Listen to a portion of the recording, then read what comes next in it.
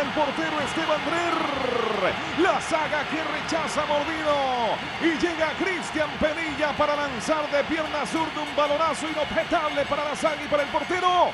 Y ponerla del empate en el clásico. Tres letras que se juntan para describir emoción de Penilla y su hinchada aquí en el Monumental. El amarillo. Bueno, lo decía Jan, es la última jugada probablemente de este primer tiempo.